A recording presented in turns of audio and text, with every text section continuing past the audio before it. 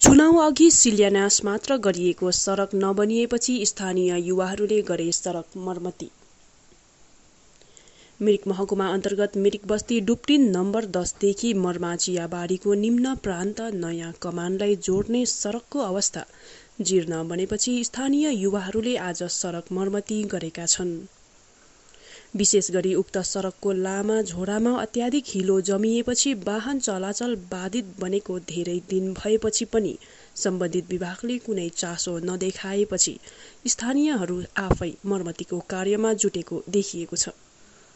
स्थानीय एक युवाले बताए अनुसार मिरिक बस्तीदेखि मर्मा नयाँ कमानसम्म पुग्ने सडकको अवस्था जीर्ण रहेको छ। बर्खायाम सुरु भएपछि सडकको अवस्था धेरै शोचनीय बन्न पुगेपछि युवाहरूद्वारा जसो तसो वाहन गुराउनका निम्ति सडकको मर्मती गरिएको हो।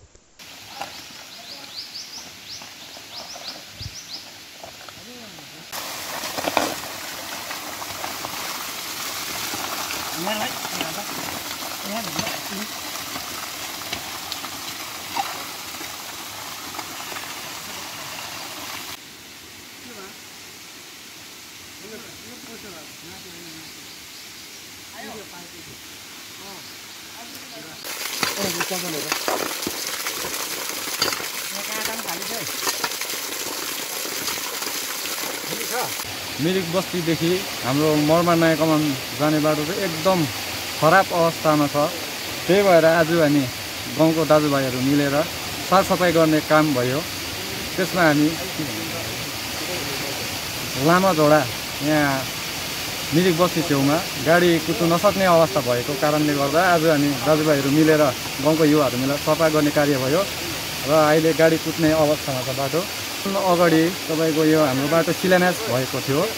तर पनि इलेक्सन पछाडि केही कार्य नभएको गाउँवासीको गुनासो छ। पहिला शिलान्यास अगाडि हुन्छ भन्ने सबैले आशा गरेको थियो तर अहिलेसम्म भएको छैन बाटो।